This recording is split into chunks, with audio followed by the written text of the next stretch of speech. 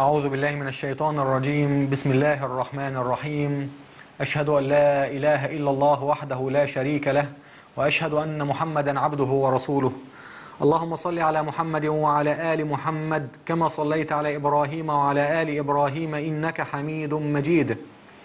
اللهم بارك على محمد وعلى آل محمد كما باركت على إبراهيم وعلى آل إبراهيم إنك حميد مجيد. أعزائي المشاهدين السلام عليكم ورحمة الله. أهلا بحضراتكم في حلقة جديدة من تنزيه القرآن عن الأشباح والأوهام. الحلقات دي أنا بعرض فيها فهمي لكتاب الأستاذ مصطفى ثابت عن الجن. الكتاب ده كتبه في سلسلة تصحيح تصحيح الأخطاء الشائعة. جزاه الله أحسن الجزاء ونفعنا بعلم هذا الرجل. ودلوقتي هنكمل إن شاء الله موضوع الجن في زمن سليمان عليه السلام. ونبدأ بقوله تعالى وحشر لسليمان جنوده من الجن والإنس والطير فهم يوزعون. المقصود بالجن هنا هم المهرة من الجنود اللي كانوا بيقوموا بالمهام الخاصة. ممكن يكونوا من سكان الجبال الأشداء أو فرقة الحرس الخاص من علية القوم. وكل دول ممكن يطلق عليهم لفظ الجن لأن المهرة من الناس بينظر وجودهم. ولهذه ولهذه الندرة بيغلب عليهم طبيعة الاستتار وعدم الظهور. زي ما بيظهر عامة الناس يعني غير ما بيظهر عامة الناس. وده بينطبق أيضا على السادة وعلية القوم. فهم أيضا محتجبين وراء القصور والمناصب وما بيختلطوش بالناس عادة زي ما قلنا قبل كده. كذلك ممكن إطلاق لفظ الجن على سكان الجبال الجبال لأنهم أيضا تغلب عليهم ظاهر ظاهرة الاختفاء لعزلتهم عن الناس وعدم الاختلاط بهم أما الطير هنا فهم إما الرجال الروحانيين أو الفرق الخاصة المعروفة بسرعة تنفيذها للعمليات الصعبة وفي الحقيقة موضوع المقصود بالطير في الآية دي مش موضوعنا في الحلقات دي لأنها مش مكانه. ممكن نتعرض لها في تفسير سورة النمل في حلقات أخرى إن شاء الله. لكن ممكن حضراتكم تقروا تفسير سورة النمل في التفسير الكبير المصلح الموعود في المجلد السابع. وهو موجود باللغة العربية على موقعنا في الإنترنت. ده غير أن المهندس هاني طاهر شرح الموضوع بشكل جميل في حلقات مصورة وهي برضه موجودة على الموقع. وبكده يتبقى لنا المجموعة الثالثة والرابعة من الآيات اللي بتتحد اللي بتتحد بتتحدث عن سليمان عليه السلام وعلاقته بالجن. وتذكر المجموعة الثالثة من آيات سورة النمل قصة ملكة, ملكة سبأ. ومن غير ما نخش في تفاصيل هذه القصة واللي انتهت إليه فاللي يهمنا معالجته هنا هو رغبة سليمان أن يأتيه أحد بعرشها. يقول الكتاب العزيز قال يا أيها الملأ أيكم يأتيني بعرشها قبل أن يأتوني مسلمين. قال عفريت من الجن أنا آتيك به قبل أن تقوم من مقامك وإني عليه لقوي أمين. قال الذي عنده علم من الكتاب أنا آتيك به قبل أن يرتد إليك طرفك. فلما رآه مستقرا عنده قال هذا من فضل ربي ليبلوني ليبلوني أأشكر أم أكفر؟ ومن شكر فإنما يشكر لنفسه ومن كفر فإن الله ومن كفر فإن ربي غني كريم. ويمكن سوء فهم سوء الفهم اللي ارتبط بهذه الآيات الكريمة كان هو السبب الأكبر والأعظم في شيوع الأفكار الخاطئة عن الجن وقدراتهم الأسطورية اللي تفشت بين الناس. والقصة باختصار شديد هي أنه وصل لسليمان عليه السلام أن في مملكة قوية من من ممالك الجوار. بتملكها امرأة ملكة قوية بتتميز بالحكمة والعقل وأوتيت من كل شيء. إلا أن في المملكة دي كانوا بيسجدوا للشمس من دون الله. وزي لهم الشيطان أعمالهم فصدهم عن سبيل الله. فأراد سليمان أن يأمن شرهم وده بأنه يدعوهم للإيمان بالله الواحد القهار. وبكده يكون أنقذهم من براثن الشيطان وأمن شرهم أيضا. فلا يعتدوا عليه خاصة أنهم قوم أقوياء. نحن أولو قوة وأولو بأس شديد. وقررت الملكة زيارة سليمان عليه السلام في مملكته. وكانت عرفت أنه بدأ يجهز جيش عظيم يضم جنود لا قبل لهم بها. وأقاموا على طرف مملكته وكان من عادة الملوك في ذلك الزمن لما بيستقبلوا ملوك ضيوف عليهم عليهم أنهم يعملوا لهم عروش تليق بمكانتهم عشان كده سأل سليمان عليه السلام مستشاريه والعاملين في بلاطه. قال يا أيها الملأ مين يقدر يصنع لي العرش اللي هتجلس عليه الملكة حين استقبالها؟ يعني مين يعد لي عرشها؟ بشرط إن العمل فيه ينتهي قبل وصول الملكة. فقال له أحد القادة المهرة اللي بيتميز بالذكاء والقوة قال عفريت من الجن أنا أصنع لك قبل أن تنتقل من هذا المقام ال ال الذي تقيم فيه. لما قال له قبل أن تقوم من مقامك. واحد تاني بي- بيتميز بغزارة العلوم اللي حصلها من الكتب قال الذي عنده علم من الكتاب قال له أنا أقدر أعد ليه ليك قبل ما يعود الرسول اللي أرسلته ليهم من طرفك. أنا آتيك به قبل أن يرتد إليك طرفك. ولما تم إعداد العرش وراح سليمان عليه السلام يتفقد العمل اللي, بي... اللي تم تنفيذه فلما رآه مستقرا عنده شكر الله تعالى على ما حباه من فضل وما أنعم عليه في ملكه من قوة وعظمة. دي ببساطة شديدة قصة إعداد عرش الملكة اللي اختلف المفسرون في تقديمها. وهنا ممكن البعض يتساءل طيب ليه ما نقبلش التفسير الشائع بين العامة بين عامة الناس يعني ول- وليه بنعتبره أسطوري وخرافي؟ هو ربنا مش قادر على كل شيء؟ الحقيقة قضية إن الله قادر على كل شيء هي حق ير- يراد به باطل. صحيح الله قادر على كل شيء لكن ما علاقة كونه قادر على كل شيء بالتفسير الخرافي اللي قال بيه بعض المفسرين. السؤال اللي يجب يتسأل هنا هل التفسير اللي قدمناه يتفق مع اللغة العربية اللي نزل بها القرآن الكريم؟ ويتفق مع الآيات الأخرى في الكتاب في الكتاب العزيز؟ ويتفق مع العقل والمنطق ولا لأ؟ فإذا ثبت إنه بيتفق لازم ناخد بيه ونقبله. ولو ما اتفقش فلا بد من تبين أوجه الخلاف. لكن ما يصحش يتقال إنه جه في الحديث كذا وكذا أو إنه جه في الأثر كذا وكذا. إحنا لا نفهم آيات القرآن المجيد بما يتفق مع ما جاء في الأحاديث لكن بنفهم الأحاديث بما يتفق مع ما جاء في القرآن المجيد. وفي الآيات السابقة في بعض الكلمات بنختلف عن معناها بنختلف على معناها وهي كلمة يأتي في الجملة أيكم يأتيني بعرشها وجملة أنا آتيك به. أيضا كلمة عفريت في الجملة عفريت من الجن. وكمان جملة قبل أن تقوم من مقامك. وجملة قبل أن يرتد إليك طرفك. أول حاجة كلمة يأتي في الجملة أيكم يأتيني بعرشها وجملة أنا آتيك به اتفسرت الكلمة على أن قائلها أيا كان هيذهب لمكان ما وهيجيب حاجة من هذا المكان اللي هو في هذه الحالة عرش الملكة. والكلمة جت بهذا المعنى في القرآن الكريم في قوله تعالى على لسان موسى عليه السلام إني آنست نارا إني آنست نارا لعلي آتيكم منها بقبس أو أجد على النار هدى. أي أن موسى عليه السلام رأى نار فأراد أنه يذهب لمكان النار ويعود وقد أحضر معه قبسا منها. لكن ده مش المعنى الوحيد للكلمة وهي لم تأتي في القرآن المجيد بهذا المعنى وحده. شفت حضراتكم أنا قلت لم تأتي. ولم تأتي في القرآن المجيد بهذا المعنى وحده. والكلمة لم تذهب لمكان ما وما جابتش حاجة معاها لكن أنا قصدت أن الكلمة لم تقع في القرآن المجيد بهذا المعنى وحده. وفي هذا يقول الكتاب العزيز وليس البر بأن تأتوا البيوت من ظهورها. تأتوا البيوت يعني تدخلوا البيوت مش تروحوا المكان ما وترجعوا معاكم البيوت. ولا يأتون البأس إلا قليلا.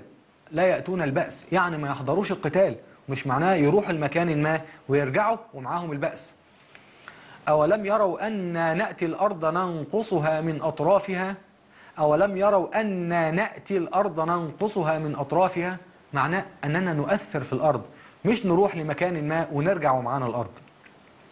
والأمثلة كتير ويعرفها كويس اللي اتعود على قراءة القرآن الكريم. وممكن البعض يعترضوا علينا دلوقتي ويقولوا إن إتيان شيء ما يختلف في معناه عن الإتيان بشيء ما. فإتيان شيء ما يعني القيام بفعل بفعل عمل عمل ما يعني بفعل شيء ما. وأما الإتيان بشيء ما يعني الذهاب إلى مكان ما والعودة بذلك الشيء. وحيث أن القرآن الكريم هو الحكم الفصل في هذه الأمور فلازم نرجع له. يقول الله تعالى فليأتوا بحديث مثله إن كانوا صادقين. سورة الطور. يعني فليقدموا حديث مثله. مش يروح المكان ما ويرجعوا بحديث. آية أخرى من يأتي منكن بفاحشة مبينة. من يأتي منكن بفاحشة مبينة. يعني من ترتكب الفاحشة ومش اللي تروح لمكان ما وترجع ومعاها الفاحشة. آية أخرى. فعسى الله أن يأتي بالفتح. يأتي بالفتح. يعني عسى الله أن يحقق الفتح. مش يروح لمكان ما ويرجع معاه الفتح. دي مجرد أمثلة من الكثير اللي ذكر القرآن المجيد. واضح إن فعل يأتي شيئا ما أو يأتي بشيء ما ما يعنيش بالضرورة الذهاب إلى مك- مكان ما والعودة بشيء ما. وقوله تعالى أيكم يأتيني بعرشها؟ يعني من منكم يصنع لي عرشها؟ من منكم يصنع لي عرشها؟ وأنا آتيك به أنا أصنعه لك.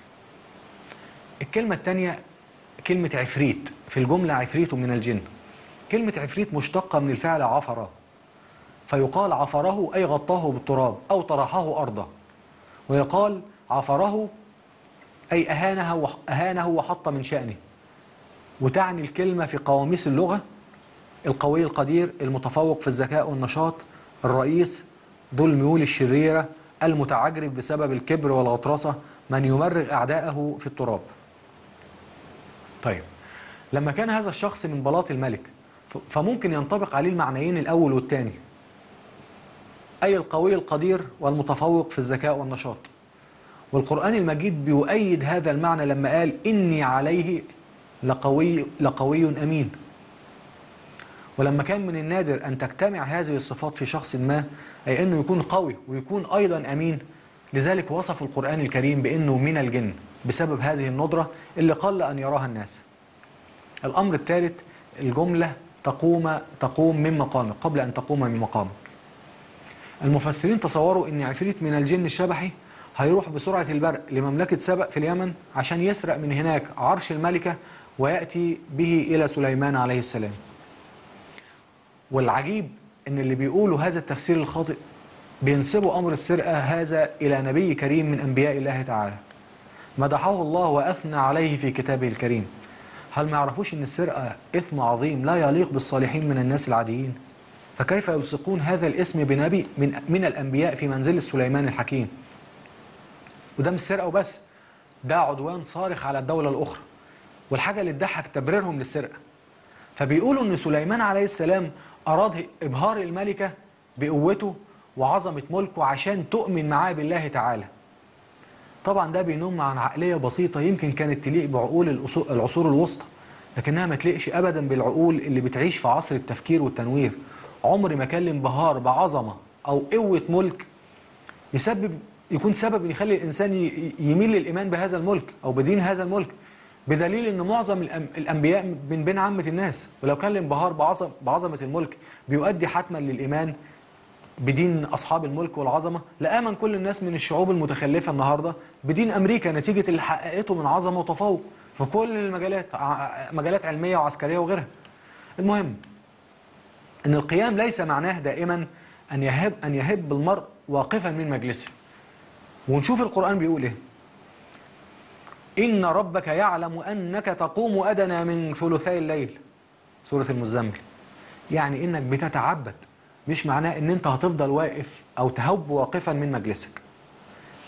آية أخرى. وأن تقوموا لليتامى بالقسط. في سورة النساء. تقوموا لليتامى. يعني أن تلتزموا بالقسط والعدل في معاملة اليتامى ومش معناه تقوموا تقفوا لليتامى أما المقام فمش هو الكرسي أو العرش اللي بيجلس عليه لكن هو المكان اللي بيعيش أو بيقيم فيه لمدة قصرت أو طالت. يقول الله عز وجل واتخذوا من مقام إبراهيم مصلى يقصد المكان اللي كان بيقيم فيه مش الكرسي اللي كان بيقعد عليه. آية أخرى. كم تركوا من جنات وعيون وزروع ومقام كريم ومقام كريم. يعني كم تركوا من مباني كريمة كانوا بيقيموا فيها ومش كراسي كانوا بيقعدوا عليها. نستخلص من كده؟ أو نستخلص من جملة قبل أن تقوم من مقامك؟ هو قبل ما تنتقل من المكان اللي بتقيم فيه إلى مكان آخر. هكذا. أما الجملة قبل أن يرتد إليك طرفك جه التعبير ده مرتين في القرآن الكريم. مرة في الآية دي ومرة أخرى في سورة إبراهيم حيث وصف الله تعالى أحوال الكافرين لما يأخرهم إلى يوم تشخص فيه الأبصار فيقول مهطعين مقنعي رؤوسهم لا يرتد إليهم طرفهم وأفئدتهم هواء.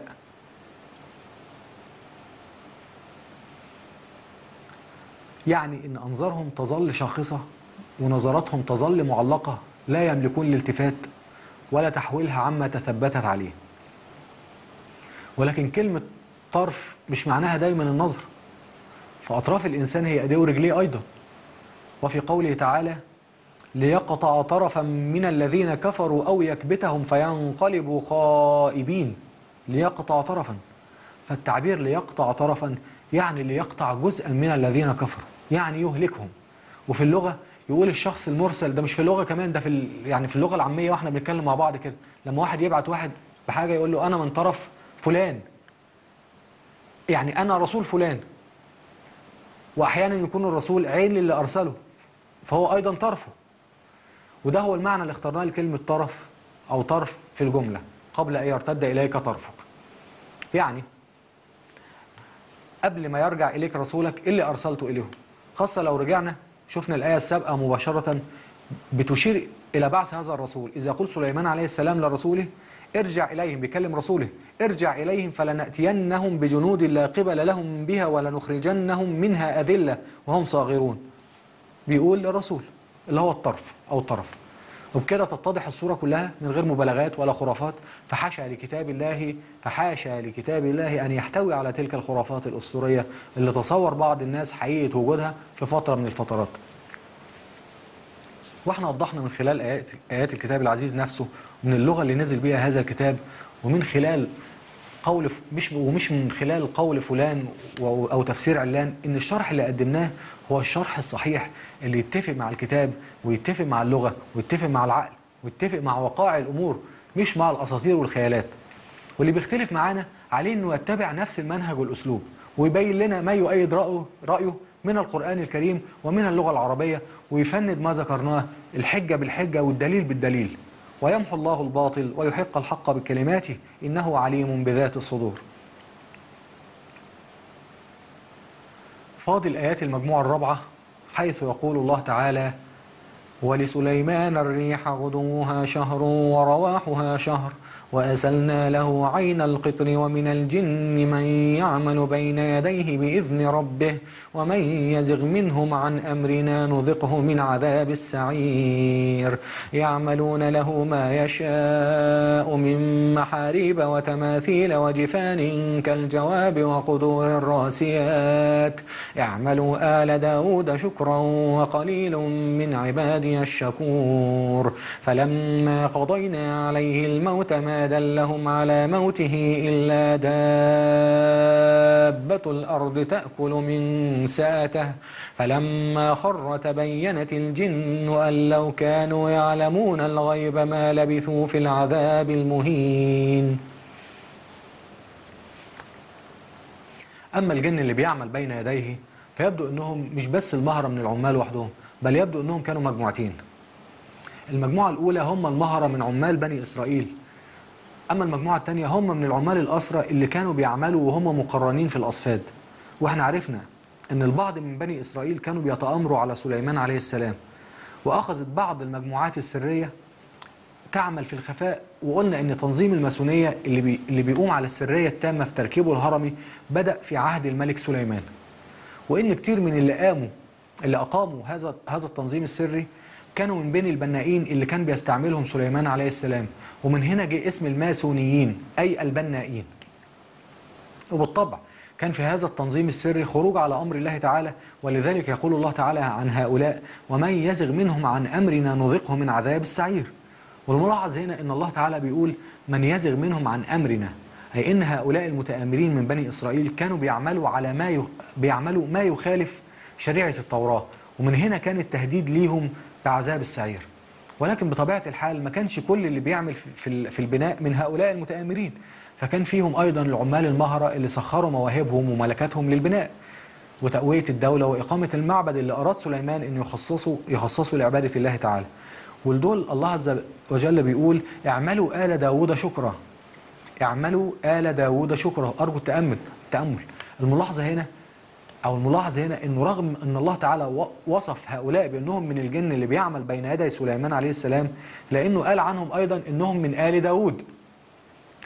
وده بيأكد لحضراتكم أنهم مش من الجن الشبح الأسطوري كما هو شائع في مخيلة العامة من الناس وأنهم هم من بني إسرائيل من آل داود من بني إسرائيل الصلحاء اللي وضعوا مهاراتهم وقدراتهم في خدمة سليمان عليه السلام. ودي هي المجموعة الأولى من الجن من بني إسرائيل بشقيها الصالح اللي بيخدم الدولة والطالح اللي بيتآمر على الدولة. أما المجموعة الثانية من الجن اللي كانوا بيؤدوا أعمالهم وهم مقيدون, مقيدون في الأغلال فكانت العادة استخدام الأسرى للقيام بأعمال السخرة. ودول كانوا مصدر خطر داي دايما لكثرتهم العددية ولضرورة وضعهم تحت المراقبة المستمرة. ولما كان داود وسليمان على علم باللي بيتدبر ليهم من مؤامرات فقد كان على حرص شديد. فعملوا أنظمة صارمة تضمن سلامة الدولة من أعدائها في الداخل وفي الخارج. ومن الطبيعي أن يكون ولي العهد وهو رحبعام ابن سليمان عليه السلام هو اللي بيعتمد عليه سليمان ويتسند عليه في رعاية أمور الدولة. بعد وفاة سليمان عليه السلام تولى ابنه رحبعام شؤون الحكم إلا أنه ما كانش في حنكة أبيه ولا في حكمته بل كان بيميل للعبث والانحلال فالتف حواليه مستشار السوء اللي عزلوه عن أمور الرعية بعد ما كسبوا ثقته. وبذلك راحوا يجردوه من سلطاته بعد ما نجحوا في إقناعه بتفويض هذه السلطات ليهم. وما مرش وقت طويل حتى صار هم حتى صاروا هم الحكام الحقيقيين للدولة بينما الملك غرقان في ملذاته. الأمر اللي أدى في النهاية إلى انهيار الإمبراطورية العظيمة اللي أقامها وسليم وسليمان عليهما السلام. فبدأت الممالك اللي كانت اللي كان سليمان بيخضعها لحكمه في التمرد والثورة وفي النهاية أراد أراد الأسرة إن هم يقوموا بأعمال السخر في النهاية يعني عرف الأسرة إن الملك انتهى الأسرة اللي هم كانوا مكلفين بأعمال السخر إن ملك سليمان انتهى وإنهم لو كانوا على علم بموت سليمان ما كانوش فضلوا تحت هذا الع... بملك سليمان اللي انهار يعني ما كانوش هيفضلوا تحت تحت, آه تحت هذا العذاب المهين. فالآية بتقول فلما قضينا عليه الموت ما دلهم على موته إلا دابة الأرض تأكل من سأته. فلما خر تبينت الجن أن لو كانوا يعلمون الغيب ما لبثوا في العذاب المهين. فقلنا بالآية هو هو المقصود من معنى الآية. لو ركزنا فيها نلاقي الآية دي بترسم صورة جميلة رمزية باستخدام المجاز اللي بيكسب الأسلوب حلاوة وجمال. رحبعام ابن سليمان اللي كان بيتكئ عليه سليمان في, في أواخر أيامه في رعاية شؤون الدولة كان بمثابة المنسأة أي العصا اللي بيتكئ عليها الإنسان في سيره. ودبة الأرض هم مستشار السوء اللي حاموا حوالين رحبعام وجردوه شيئا فشيئا من سلطات الملك. وكأنهم بذلك كانوا بياكلوا تلك المنسأة إلى أن خر الملك العظيم وانهار الصرح الكبير اللي أقامه سليمان عليه السلام. والمثل العربي عندنا بيقول اللي خلف ما ماتش يعني من أنجب ولدا يحمل اسم أبيه ويستمر في أداء رسالته. فكأن الأب ما ماتش بل ظل حي بحياة ابنه. والعمال العمال الأسرة فضلوا يعانوا من آلام من آلام وعذاب الأسر المهين وهم لا يدركوا وفاة سليمان. وأدركوا حقيقة وفاته بعد ما انهارت الدولة واتمردت الأمصار فتمردوا هم أيضا إلى أن نالوا حريته. ولما كان المجاز يحتمل الكثير من المعاني فممكن يكون في تفسير آخر لهذه الآية. ممكن نفهم أن المنسأة أو العصا اللي كان بيتكئ عليها سليمان عليه السلام على أنها رمز لقوة الملك العظيم اللي كان سليمان بيعتمد عليه في إخضاع الممالك المعادية عشان يسيطر عليها. وعلى الأسرى المقرنين في الأصفاد طبعا. وبعد وفاته تولى ابنه رحبعام زمام الملك لكنه لم يتمسك بالتقوى والصلاح وغرق في ملذاته مما أدى في النهاية إلى انهيار صرح الملك بأكمله. فكان ابنه هذا رحبعام بمثابة دابة الأرض اللي أكلت ذلك الملك العظيم حتى خر وانهار. لما بقول أكلت ذلك الملك أقصد الدابة اللي كلت المنسأة. ابنه رحبعام هنا هو هو الدابة والملك هو المنسأة اللي مسنود عليها سليمان. وفي الحقيقة التفسير الآخر أنا بميل له أكتر. المهم في كل الأحوال التفسير الساذج اللي أشرنا ليه فيما سبق عن عند الحديث عن آيات سورة سبأ فيمكن يكون معقول في العصور الوسطى. وما كانش غريب عليهم إن هم تصوروا وقوف سليمان عليه السلام وهو واقف يراقب الجن اللي كان بيعمل بين يديه كده يقف سنة فيموت وهو واقف متكئ على العصا. ويفضل كده واقف أمام الجن سنة والجن ما يعرفش بموته لأنهم ما كانوش يعلموا الغيب. ولكن لما أخذت حشرات الأرض تاكل العصاية خر سليمان فأدركت الجن إنه مات. ولعل غرابة القصة وعجائب أحداثها كانت بتسيطر على العقول فبتمنعها من التساؤل والتفكير حتى الاعتراض وإثارة مج... الأسئلة. لكن في حاجة مهمة نطلع منها من الآيات دي ويجب الإشارة إليها. هي إن القرآن الكريم بيقول إن الجن لا يعلمون الغيب. ويا ريت يعرف كده العامة من الناس فيبطلوا دفع أموالهم للدجالين والمشعوذين اللي بيدعوا تسخير الجن لاسترجاع المساغ المسروق أو لإخراج الأعمال والأحجبة وقتنا انتهى. أقول قولي هذا وأستغفر الله لي ولكم والسلام عليكم ورحمة الله تعالى وبركاته.